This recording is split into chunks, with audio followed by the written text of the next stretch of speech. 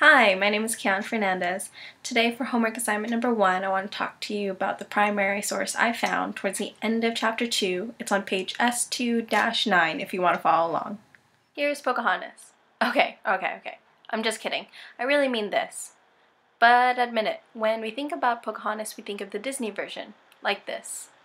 Or in my case, like this. Can you paint with all the colors of the wind? Yeah, that's definitely how I remember Pocahontas. I don't know about you.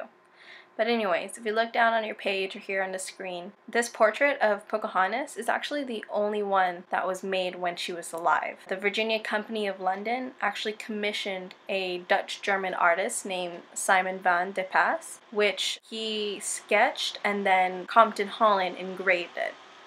Now, if you also look below her portrait, there is a English inscription which basically translates the Latin that surrounds her portrait. It says that she is a converted Christian. She is married to John Rolfe, okay, not John Smith, John Rolfe, and that she's also the daughter to, forgive me, but I'm totally gonna butcher this, Emperor of Atonoskomout?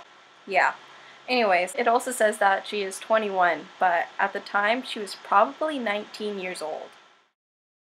So how does Pocahontas' portrait have to do with anything today? How is it even relevant to today? If you think about it, it's pretty simple, because back then the Virginia Company of London basically used her as a living, breathing, walking advertisement. They even paid for her to go to England and her family and her like six attendants to just convince these English investors to send back money and to forget about the old rumors that they heard about the, the harsh winters and the starvation and the, the frequent hostilities that they would have around the surrounding areas.